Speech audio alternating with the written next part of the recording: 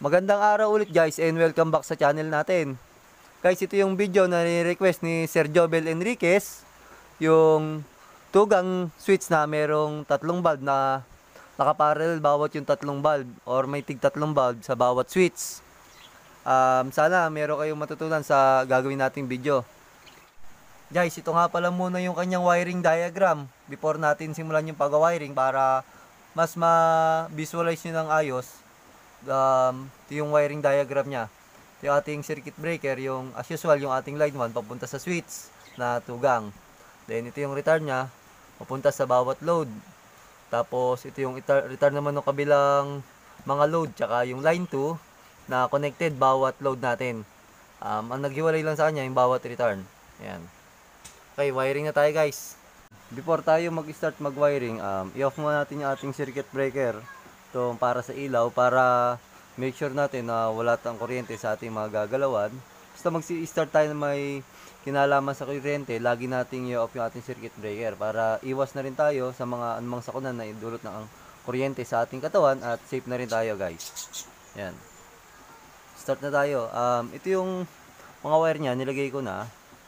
Ito yung yellow, yung return nung bawat load nung isang o nung tatlong load natin bawat receptacle.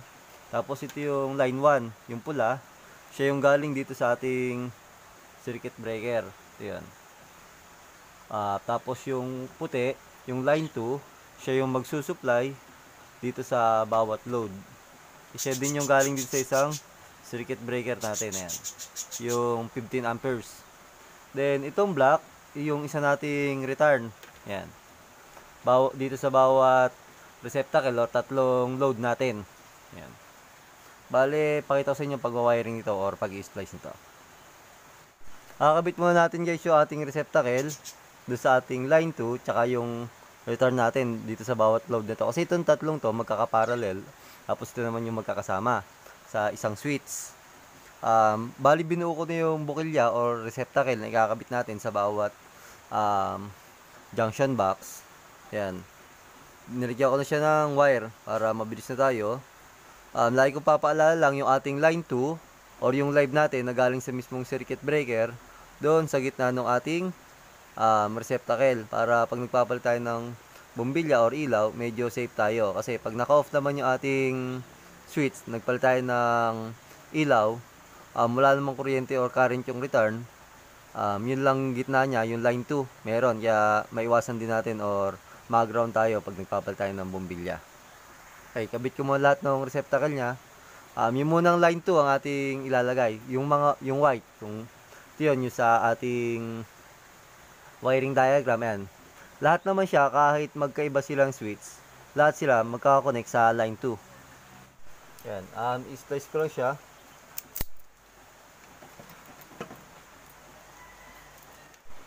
Ayan, um, kinabit ko na yung line 2 natin do sa bawat sa puti. Siya yun, ah, ayan. Ito sa wiring diagram natin. Yan yung galing do sa ating circuit breaker na 15 amperes. Ayan. Yung puti niya. Tapos, ito naman black. Ayan, ito, napansin nyo, hanggang dito lang to. Kasi, um, ito lang tatlong to yung magkakasama. Um, ayan. Siya yung return natin, na galing naman dito sa switch na to. Siya yung kakabit natin do sa kabilang side ng receptacle. Ayan, kakabit lang natin. Ayan, ito lang tatlong to yung magkakasama dito sa block na ito. Kaya yung return natin. Um, splice lang natin. Ayan.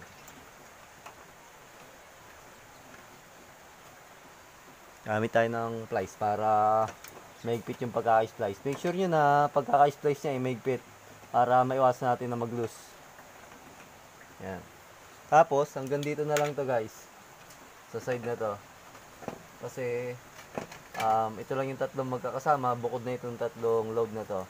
Dito na siya sa kabilang pin ng ating receptacle or bukilya.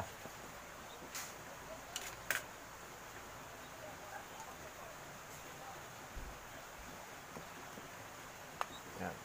Pitan natin para maiwasan natin mag-loose. Tapos, lagyan natin ng tape na siya guys. Hindi naman natin siya malalagyan ng wire nut. Kasi, yan. Naka pigtail siya kaya electrical tape na lang. Okay, ito namang side na to yung lalagyan natin ng receptacle kasi bukod nga ito dito sa tatlong to, bukod din ito. Um, ito namang yellow, yung ginawa kong return niya. Siya yung return na papunta sa switch. Um, ito yun, guys. Yan. Sa yung return, ang pagsabing return, siya yung galing sa ilaw or load. Um, papu- diretso lang siya sa switch. Tapos yung line 2, doon din ulit tayo kukonect. Siya yung galing nga doon sa ating circuit breaker. Ganun lang din, kung ano yung ginawa natin dito, yan, yung line 2, sa gitna ng receptacle natin, doon sa gitnang yon Then, yung yellow, yung return natin, siya yung pabalik. Yan. Kaya yun, pag-iba-iba ko siyang kulay para makita nyo or baga, ma-visualize nyo ng habang tinuturo ko. Okay, kakabit ko na yung kanyang receptacle. Doon sa line 2 muna, guys. Yan lang ulit. Pipigtail lang natin yung pag-splice niya para hindi natin putulin yung line 2.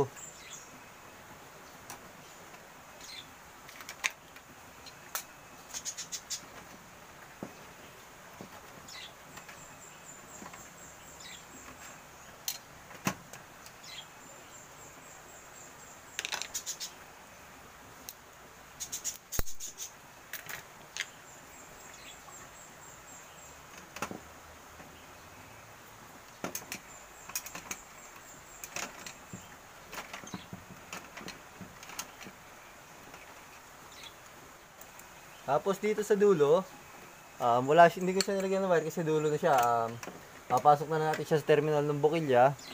Yung line to nga, doon sa gitna, ayan, ito yun. Sama natin kasi masyadong mahaba. Huwag din kayo masyadong maglalagay ng masyadong mahaba na baga naka- naka-expose na copper kasi ah, may tendency pag ba, nakalabas masyadong mahaba, hindi rin maganda yon.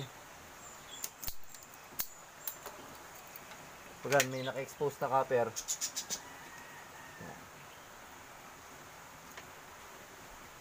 dito sa um, gilid ng ating receptacle. Then itong line 2 doon sa gitna.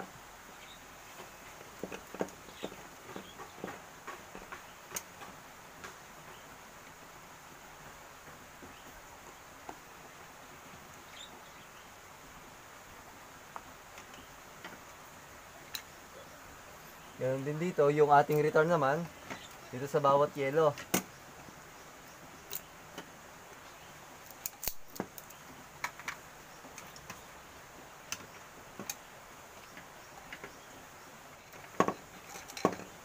Yan, napakalaga na meron kayong gloves para pagka nagpipit kayo, maiwasan yung um, masugatan. Ganun guys.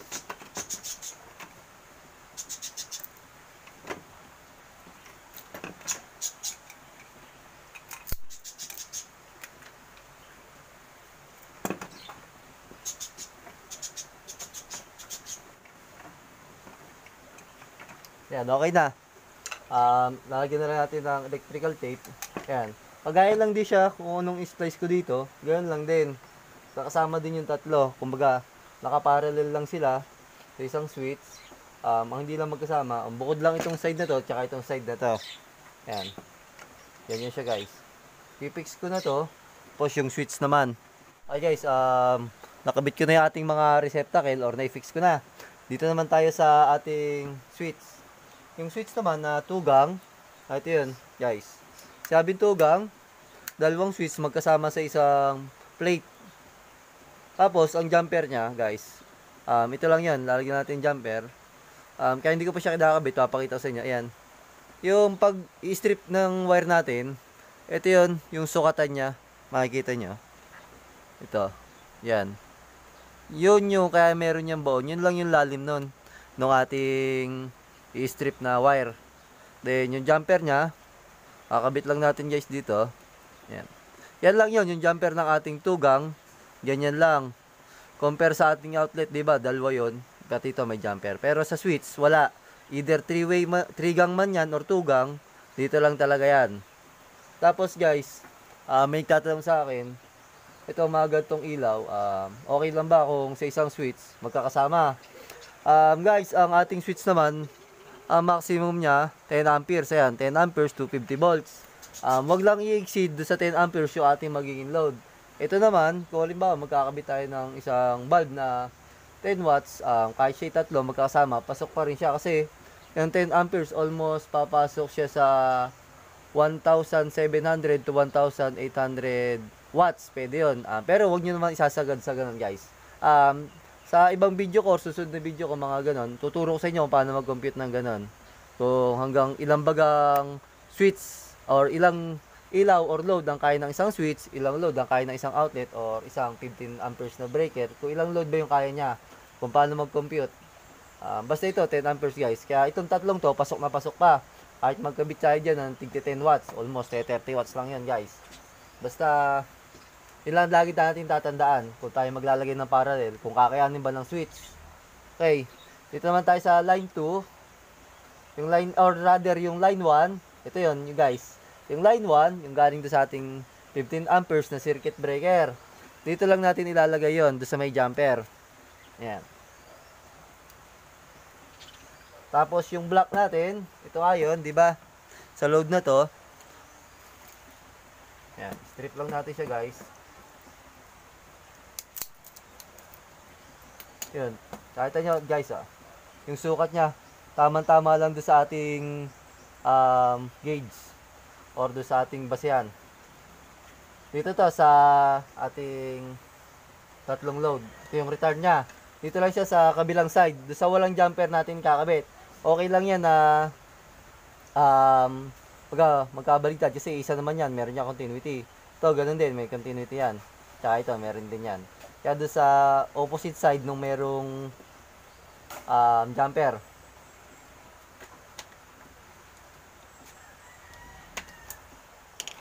Yan, ito namang ating isang return.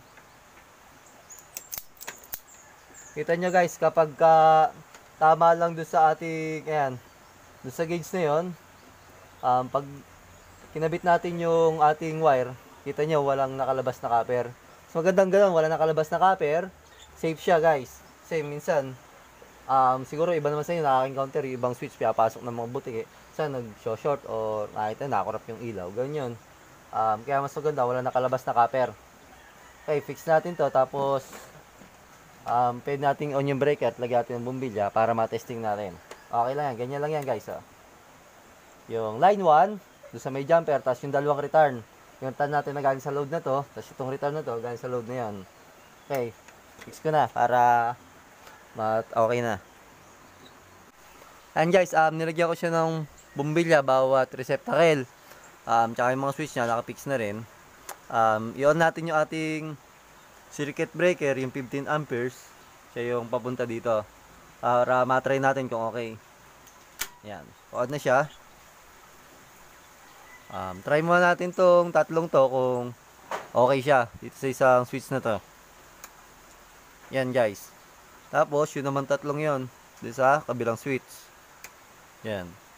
Um, guys, um, kahit sila yung magkakasama yung doon sa line 2 or parallel yung kanilang piyagkunan ng line 2, okay lang yon Hindi naman maapektuhan bawat isang ilaw kahit i-off natin to. Ayan, okay din siya. Sa kabila, ganun din. Ayan. Baga, sila lang talaga yung magkakasama, yung magkakaparallel sa isang switch. Okay na yan, guys. Ayan. And guys, sana meron na naman kayong bagong natutunan sa video to or may nitulong ako sa inyo. Lalong-lalo na sa requester, requester ng video to. Maraming maraming salamat po ulit sa inyong lahat at doon sa mga nag-subscribe na sa akin at yung mga taong wala sawang sumusuporta sa akin. Maraming maraming salamat po lagi sa walang sawa niyong pagsubaybay. At kung ngayon pala po kayo nakapanood ng video ko, sana po um, i-like nyo na, share and subscribe nyo na rin po ang channel ko. Click nyo na rin po yung notification bell para lagi kayong updated sa mga video yung ina-upload ko. Um guys, um, sa shoutout ko nga pala muna ulit yung mga taong wala sawang sumusuporta sa ating video.